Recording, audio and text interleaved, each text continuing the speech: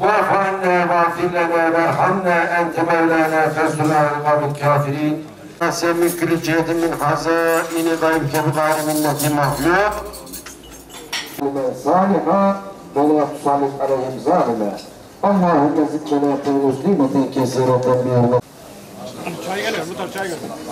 Çay geliyor. Muhtarım yine. yıldır muhtarlık yapmaktayım. Son 5 yıldır Muhtarlar Derneği Başkanıyım. Ee, artık e, muhtarlığımızı e, pazartesi itibariyle veda ediyorum. Sizlerin aranızdan ayrılıyorum. Onun için bu davetime katıldığınız için size çok teşekkür ediyorum.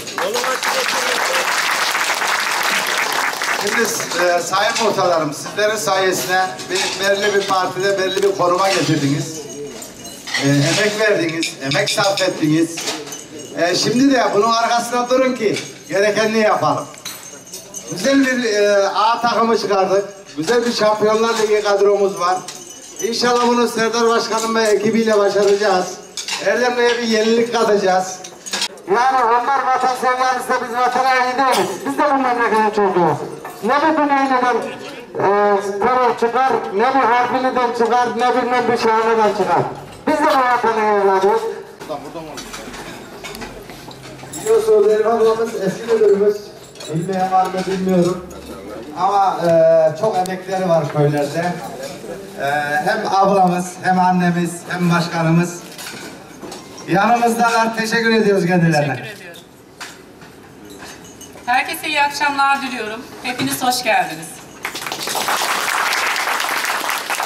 Bu muhtarımın bir veda yemeği aslında. Burada tabii onun yanında da muhtarları görürken, gönderirken oyunu da istemeden durmadı muhtarımız.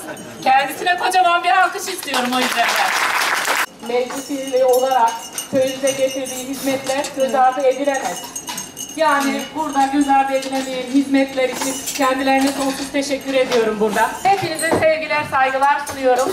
Her muhtarım için de benim için gerçekten çok kıymetli ve çok değerli. Çünkü sosyal yardımlaşmada 29 yıl hizmet verdim. Hepsiyle çok güzel istişarelerimiz oldu.